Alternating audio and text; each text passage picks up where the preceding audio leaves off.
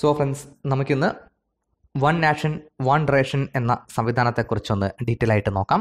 Okay so നോക്കുക നമ്മുടെ സ്വാതന്ത്ര്യത്തിന് ശേഷം നമ്മുടെ രാജ്യത്തെ കൊടും പട്ടിണിയിൽ നിന്നും രാജ്യത്തെ കരകയറ്റിയതിൽ വലിയ പങ്ക് വഹിക്കുന്ന ഒന്നാണ് നമ്മളെ പബ്ലിക് ഡിസ്ട്രിബ്യൂഷൻ സിസ്റ്റം എന്നത് പി ഡി എസ് എന്നത്. ഓക്കെ നോക്കാം മിനിമം സപ്പോർട്ട് പ്രൈസ് പ്രകാരം കർഷകരിൽ നിന്ന് ഭക്ഷ്യധാന്യങ്ങൾ ശേഖരിക്കുന്നത് മുതൽ റേഷൻ കടകളിലൂടെ അത് പൊതുജനങ്ങൾക്ക് വിതരണം ചെയ്യുന്നത് വരെയുള്ള ഘടകങ്ങൾ ചേർന്നതാണ് നമ്മുടെ പബ്ലിക് ഡിസ്ട്രിബ്യൂഷൻ സിസ്റ്റം എന്നത്. ഓക്കെ എം എസ് പി പ്രകാരം കർഷകരിൽ നിന്ന് സർക്കാർ ഭക്ഷ്യധാന്യങ്ങൾ ശേഖരിക്കുന്നു.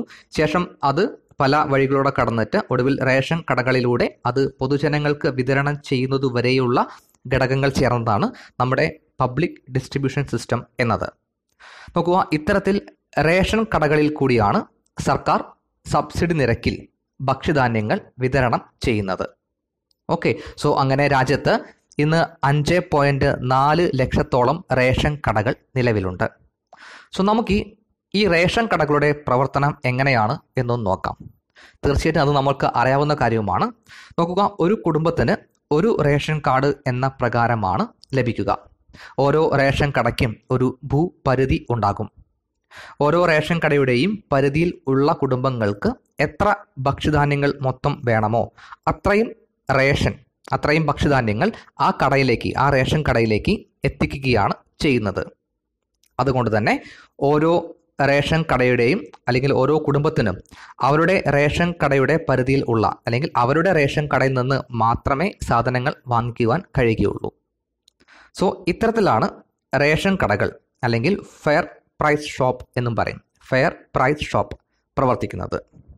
ഓക്കെ നോക്കുക സാങ്കേതിക വിദ്യയുടെ വളർച്ചയും ഒപ്പം ആധാർ കാർഡ് എന്ന യുണീക്ക് ഐഡന്റിഫിക്കേഷനും നിലവിൽ വരികയും ചെയ്തതോടെ ഈ സംവിധാനത്തിൽ നമ്മുടെ റേഷൻ കട എന്ന സംവിധാനത്തിൽ വലിയ മാറ്റങ്ങളാണ് സർക്കാർ കൊണ്ടുവരുന്നത്. അതിൽ പ്രധാനപ്പെട്ടതാണ് വൺ നാഷൻ വൺ റേഷൻ എന്ന സംവിധാനം. നോക്കുക രണ്ടായിരത്തി ഇരുപത് ആകുമ്പോഴേക്കും രാജ്യത്തെ എല്ലാ റേഷൻ കടയുടമകൾക്കും സോറി എല്ലാ റേഷൻ കാർഡുടമകൾക്കും രാജ്യത്തെ ഏത് റേഷൻ കടകളിൽ നിന്നും അവർക്ക് അർഹതപ്പെട്ട ഭക്ഷ്യധാന്യങ്ങൾ വാങ്ങിക്കാൻ കഴിയുന്ന സംവിധാനമാണ് ഇതുകൊണ്ട് ഉദ്ദേശിക്കുന്നത്. ഓക്കെ സോ അതിലേക്ക് പോകുന്നതിന് മുൻപ് നമുക്ക് എന്തുകൊണ്ടാണ് അല്ലെങ്കിൽ എന്താണ് ഇത്തരം ഒരു സംവിധാനത്തിന്റെ ആവശ്യകത എന്നൊന്ന് നോക്കാം. ഓക്കെ സോ ഫ്രണ്ട്സ് ഇതിന്റെ ആവശ്യകതയെക്കുറിച്ച് പറയുകയാണെങ്കിൽ നോക്കാം. നമുക്കറിയാം ഇന്ന് രാജ്യത്ത് ഇൻട്രാ സ്റ്റേറ്റ് മൈഗ്രേഷൻ വളരെ കൂടി വരുന്ന കാര്യം. അതായത് അന്തർ സംസ്ഥാന തൊഴിലാളികൾ നമ്മുടെ സംസ്ഥാനത്തും ഉണ്ട്. അതുപോലെ തന്നെ മറ്റ് സംസ്ഥാനങ്ങളിലേക്കെല്ലാം ഓരോ സംസ്ഥാനത്തു നിന്നും മറ്റ് സംസ്ഥാനങ്ങളിലേക്ക് തൊഴിലാളികൾ അല്ലെങ്കിൽ തൊഴിലാളികൾ അല്ലെങ്കിൽ മറ്റാവശ്യങ്ങൾക്കായിട്ട് മാറി താമസിക്കുന്നത് ഇന്ന് വളരെ കൂടുതൽ ആയിട്ടുള്ള കാര്യമാണ്. പ്രധാനമായിട്ടും ജോലിക്കായിട്ടും പിന്നെ വിവാഹം തുടങ്ങിയ കാരണങ്ങളാലും ഇന്ന് നിരവധി പേരാണ് തങ്ങളുടെ ജനന നിന്ന് പല സംസ്ഥാനങ്ങളിലേക്ക് മാറി താമസിക്കേണ്ടി വരുന്നത്. ഇത്തരത്തിലുള്ള നിരവധി പേർക്ക് റേഷൻ ലഭിക്കാത്ത സാഹചര്യം ഇന്ന് ഉണ്ടാകുന്നുണ്ട് കാരണം ഇവർക്കായി അനുവദിച്ച ഭക്ഷ്യധാന്യങ്ങൾ അവരുടെ നാട്ടിലെ റേഷൻ കടകളിൽ നിന്ന് മാത്രമേ ലഭിക്കുകയുള്ളൂ. നോക്കുക രാജ്യത്തെ മൊത്തം ജനസംഖ്യയുടെ മുപ്പത്തി ഏഴ് ശതമാനം ഇന്ന് ഇത്തരത്തിൽ ഇൻട്രാ സ്റ്റേറ്റ് മൈഗ്രന്റ് ആണ്. സോറി ഇന്റർ സ്റ്റേറ്റ് മൈഗ്രന്റ് ആണ്. ഓക്കെ. അതായത് നാൽപ്പത്തി അഞ്ച് പോയിന്റ് മൂന്ന് കോടി പേർ ഇന്ന് സ്വന്തം നാട് വിട്ടിട്ട് മറ്റു പല സംസ്ഥാനങ്ങളിലായിട്ട് കുടിയേറിയവരാണ്.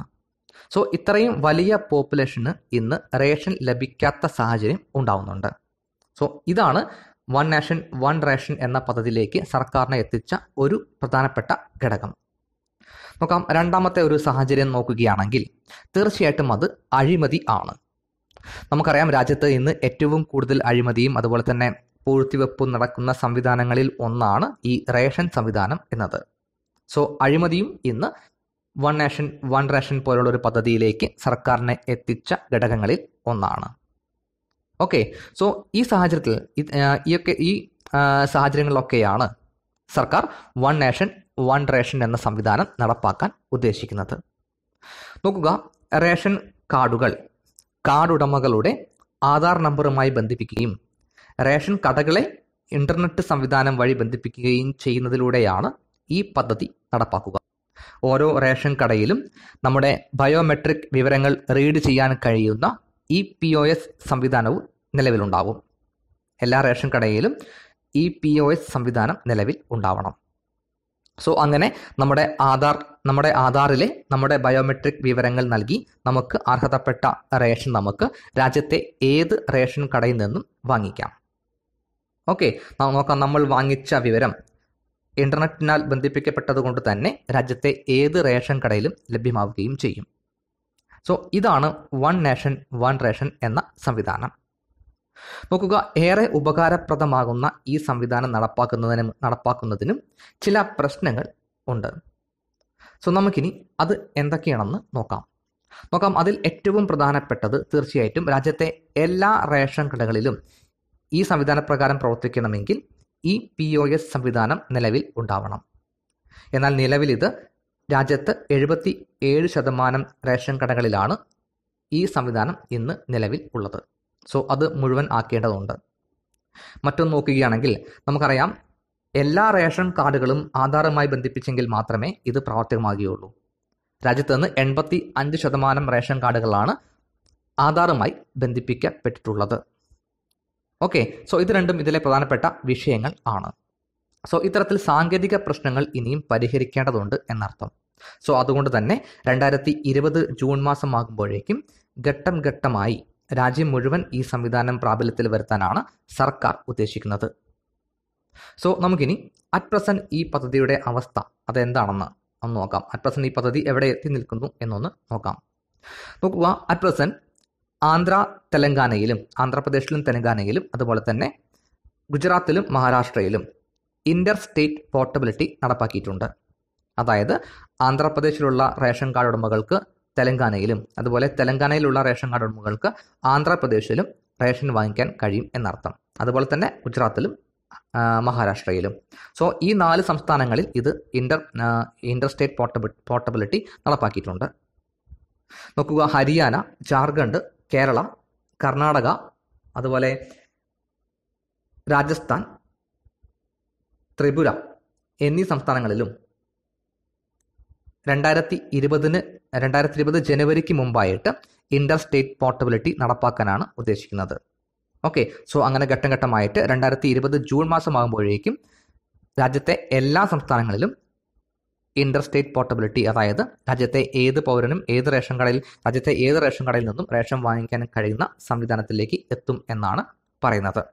ഓക്കെ സോ ഇതാണ് വൺ നേഷൻ വൺ റേഷൻ എന്ന പദ്ധതിയെക്കുറിച്ച് പറയാനുള്ളത്.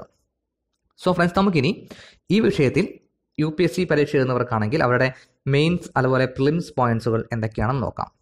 സോ നമ്മളിവിടെ പറഞ്ഞത് റേഷൻ കടകളുമായി ബന്ധപ്പെട്ട അല്ലെങ്കിൽ പി ഡി എസ് സംവിധാനവുമായി ബന്ധപ്പെട്ടിട്ടുള്ള കാര്യങ്ങളാണ്. പി ഡി എസ് സംവിധാനത്തിൽ വൺ നേഷൻ വൺ റേഷൻ സംവിധാനം നടപ്പാക്കുമ്പോൾ ഉണ്ടാകുന്ന പ്രശ്നങ്ങളും അതിന്റെ ഗുണങ്ങളുമാണ് നമ്മൾ പറഞ്ഞത്.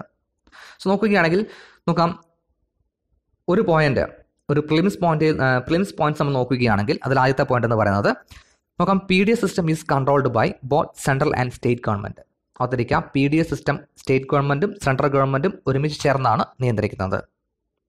ഓക്കെ രണ്ടാമത്തെ ഒരു പോയിന്റ് എന്ന് പറയുകയാണെങ്കിൽ ഈ സിസ്റ്റത്തിൽ പി ഡി എസ് സിസ്റ്റത്തിൽ centre is responsible for procurement storage and transportation of food grains നമ്മൾ പറഞ്ഞു രണ്ടുപേരും സെൻട്രും സ്റ്റേറ്റും ഈ പി ഡി എസ് സംവിധാനത്തിൽ ഒരുപോലെ കൺട്രോൾ ചെയ്യുന്നവരാണെന്ന് അത് പ്രകാരം നോക്കുകയാണെങ്കിൽ ഭക്ഷ്യധാന്യങ്ങൾ ശേഖരിക്കുന്നതിനും അത് സ്റ്റോർ ചെയ്യുന്നതിനും ഒപ്പം ട്രാൻസ്പോർട്ട് ചെയ്യുന്നതിനുമുള്ള ഉത്തരവാദിത്തം സെൻട്രൽ ഗവൺമെന്റാണ് ഓക്കെ അതേസമയത്ത് നോക്കാം. അടുത്ത point state government is responsible for distribution the food grain from sorry food grain through ration shop അല്ലെങ്കിൽ fair price shop okay state government ഇവിടെ ചെയ്യുന്നത് സെൻട്രൽ ഗവൺമെന്റ് എത്തിച്ച ഈ ഭക്ഷ്യധാന്യങ്ങൾ അത് റേഷൻ കടകൾ വഴി വിതരണം ചെയ്യുകയാണ്.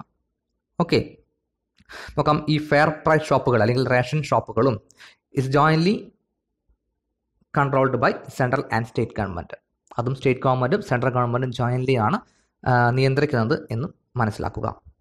ഓക്കെ സോ ഫ്രണ്ട്സ് നമുക്ക് ഇതിലെ മെയിൻസ് പോയിന്റ് ഓഫ് വ്യൂ നിങ്ങൾ നോക്കുകയാണെങ്കിൽ നിങ്ങളുടെ മനസ്സിലാക്കേണ്ടത് എന്താണ് നിങ്ങൾ ശ്രദ്ധിക്കേണ്ടത്? എന്താണ് ഈ പി ഡി എസ് സിസ്റ്റത്തിലെ പ്രശ്നങ്ങളും?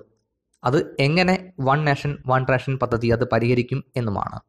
So friends P D S സിസ്റ്റത്തിലെ പ്രശ്നങ്ങളെക്കുറിച്ച് പറയുകയാണെങ്കിൽ നിരവധി പറയാനുണ്ടാവും. സോ നമുക്ക് വൺ നേഷൻ വൺ റേഷനുമായി ബന്ധപ്പെട്ട നിൽക്കുന്ന പ്രശ്നങ്ങളുമായി പ്രശ്നങ്ങൾ പറയുകയാണെങ്കിൽ ഒന്നാമത് നോക്കുകയാണെങ്കിൽ increase in intra state migration എന്നതാണ്. ഓക്കെ രണ്ടാമത് നോക്കുകയാണെങ്കിൽ increasing in corruption in P D S system ആണ്. മറ്റൊന്ന് problem in identification of beneficiaries ആണ്. അതായത് ബെനിഫിഷ്യറീസിനെ ഐഡന്റിഫൈ ചെയ്യാനുള്ള പ്രോബ്ലവും ഉണ്ട്. സോ ഈ മൂന്ന് പ്രോബ്ലങ്ങളാണ് പ്രധാനമായിട്ടും വൺ നാഷൻ വൺ റേഷൻ എന്ന സംവിധാനം പരിഹരിക്കുന്നത്. ഓക്കെ സോ എന്താണ് പി ഡി സിസ്റ്റത്തിലെ പ്രശ്നങ്ങൾ? അത് വൺ നാഷൻ വൺ റേഷൻ എന്ന പദ്ധതി എങ്ങനെ പരിഹരിക്കുന്നു എന്ന തരത്തിൽ മെയിൻസ് നിങ്ങളിത് ഓർത്തിരിക്കുക. Okay thank you friends